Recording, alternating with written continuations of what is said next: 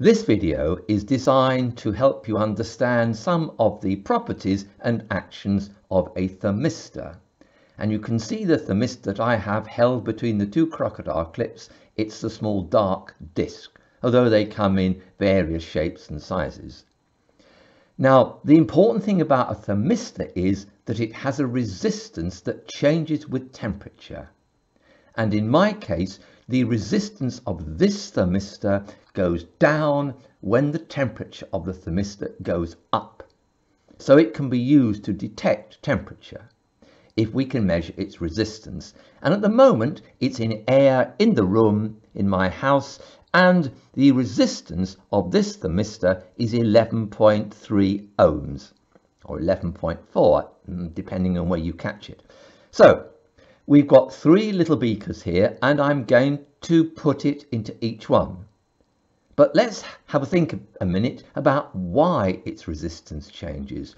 Well, in this case, with my thermistor, the hotter it gets, the more energy the electrons within the semiconducting material of the thermistor get. And so there are more electrons, more free electrons able to pass through the thermistor. More electrons means a lower resistance.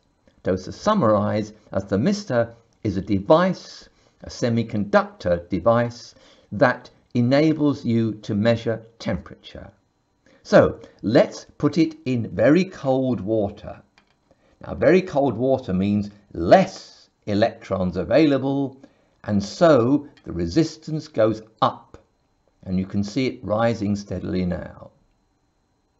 Well, let's take it out of there. That was almost ice cold water. We'll put it in water that's come out of the tap in my house and that will have a temperature that is a bit lower than the room temperature, so slightly higher resistance than the room, but of course um, it will have a resistance that is lower than the very cold water.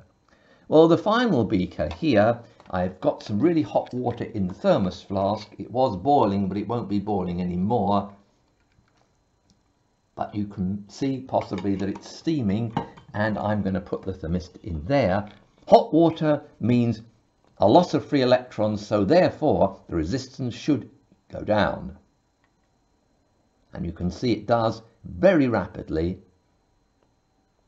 And we're down to around 2 or 3 ohms now, 2.6 ohms.